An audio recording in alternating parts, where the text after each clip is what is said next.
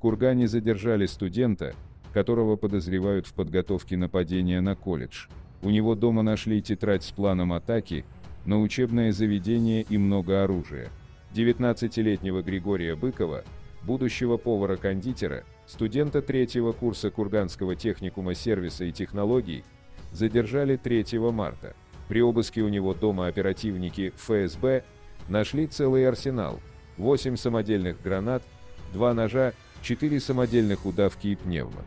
Также в доме у Быкова нашли две тетради, в одной планы и схемы нападения на колледж, в другой инструкции по изготовлению СВУ. Быков пришел на занятия с огромным ножом. Рамки почему-то не сработали, тревогу забила одна из студенток. Он из тех, про кого говорят «тихий», «спокойный», почти без друзей.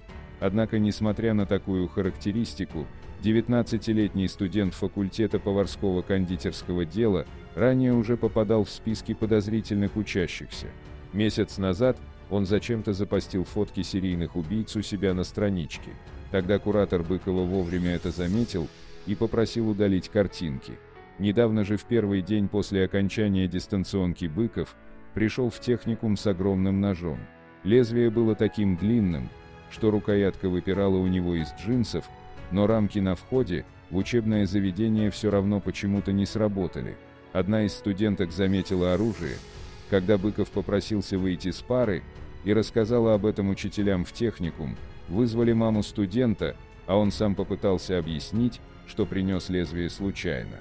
В то же время полицейские опросили однокурсников студента, и оказалось, что Григорий раньше мог прийти в школу с оружием, но серьезно к этому никто не относился.